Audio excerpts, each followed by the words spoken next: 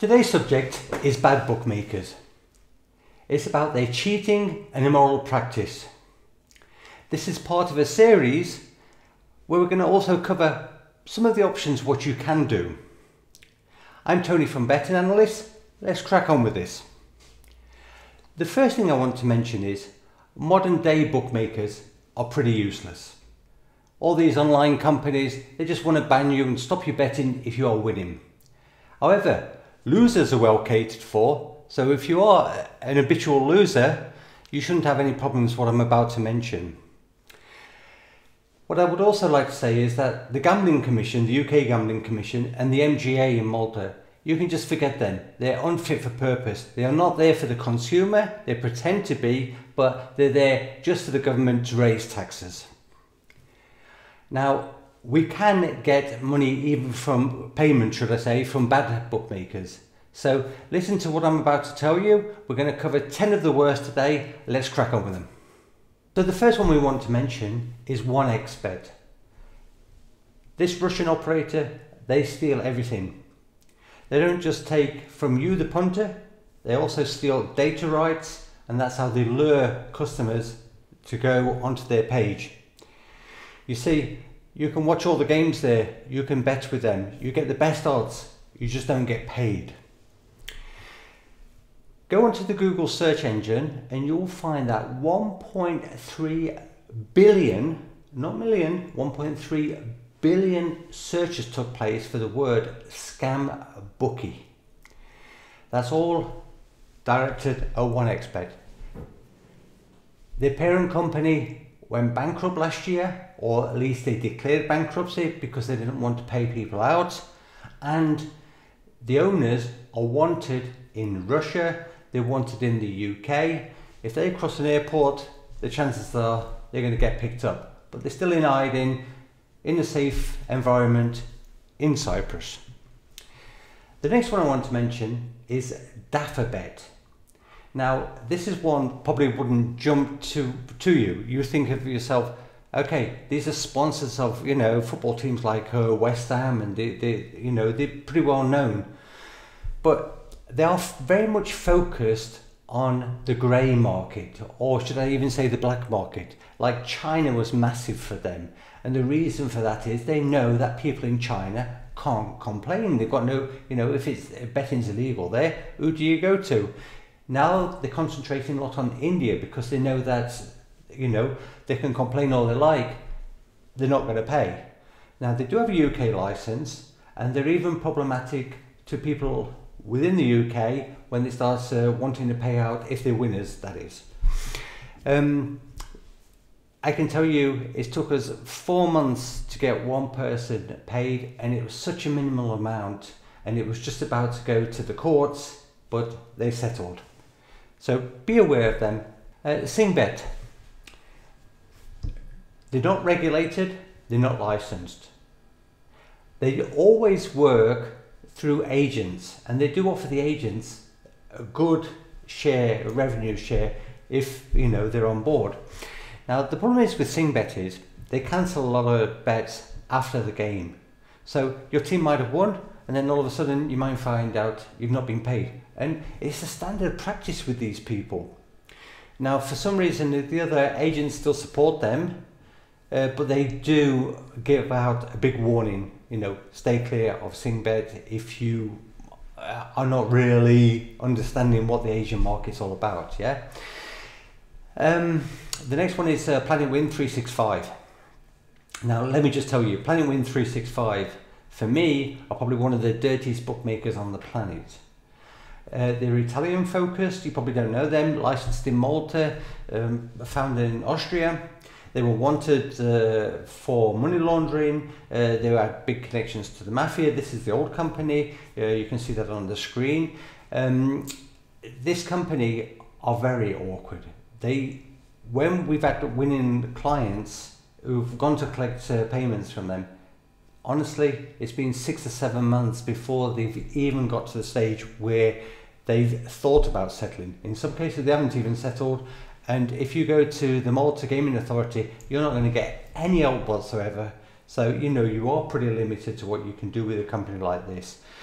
Um, also, if you go and Google them, you'll find out that uh, they were wanted for uh, uh, tax fraud of 124 million. Now they say that all the owners have been changed since then, the company's been changed around, but you know, I mean, old dogs, what can you say? Um, Unibet. Well, I guess you didn't expect this one to appear on the list. Unibet, in my opinion, are the biggest hypocrites of the lot, right? By players, for players.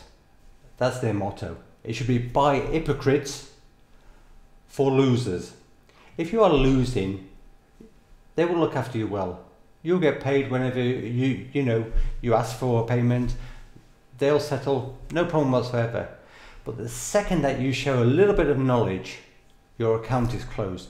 They limit faster than any other bookmaker, or at least right up there with the other bookmakers. Um, the verification process, well, honestly, it's worse than lining up for a COVID jab.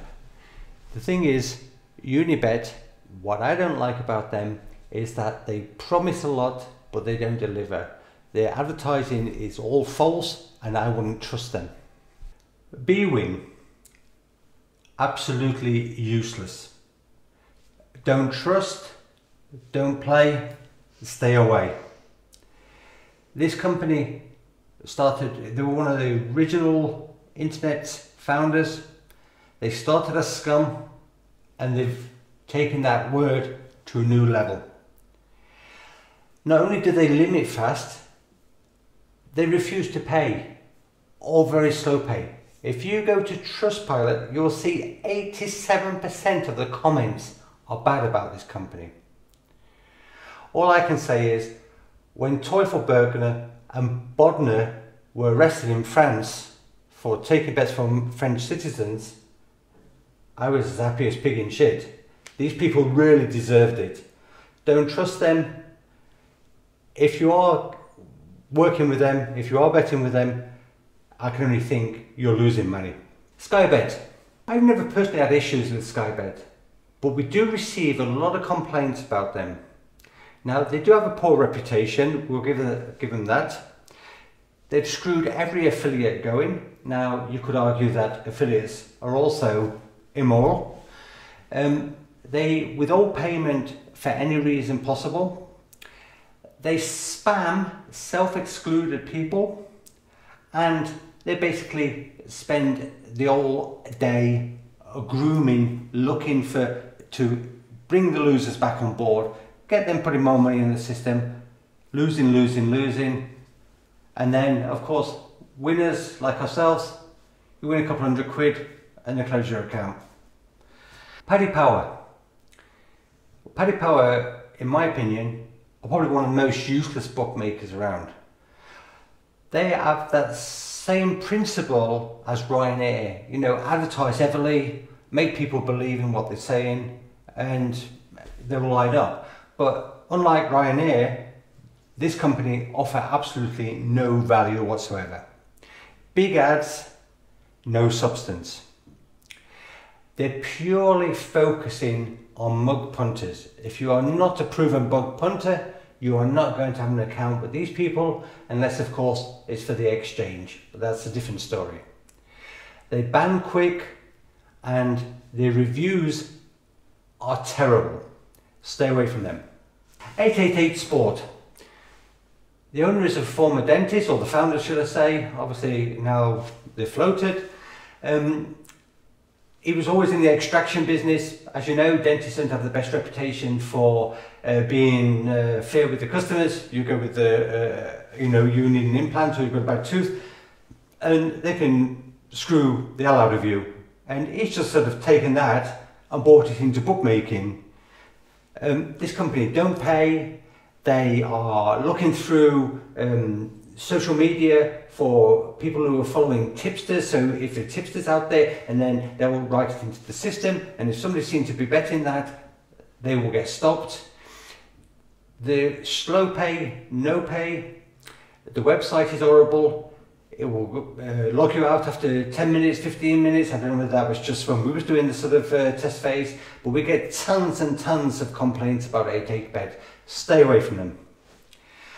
And the last one we want to mention is Betway. The founder is uh, South African, very bad reputation, not trusted by anybody. Uh, they had a fine for 11.4 million for actually taking bets from somebody who stole the money to bet with them. And I mean, you know, without sort of alarm bells, you win 50 pounds from them, the alarm bells go. This guy lost 6 million and uh, they allow him to bet further. Betway are really horrible people. They also have this thing where they'll give you a free bet if you give them a positive review. But go and have a look on Trustpilot or any other website, you will see more complaints about this company than you will see positive reviews. So people are not taking up the free bet offer, they would rather complain.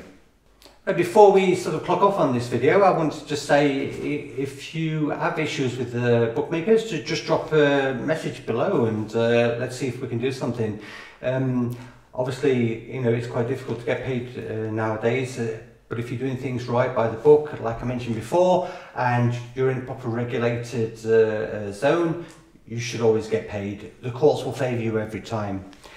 Uh, the next video we're going to uh, cover 10 bookmakers, uh, leisure bookmakers that we've just covered. We've covered them with multiple betting accounts and we're going to tell you the results of them. That's a very important one. That one's coming straight after this. Um, yes, uh, watch our other videos for a bit of education and to learn how to bet and beat the system. If you do that, you can also consider our one-on-one -on -one coaching. Uh, if you like the type of video, give us a like, give us a thumbs up and uh, subscribe to the channel and we'll uh, see you soon. So take care for now. Bye-bye.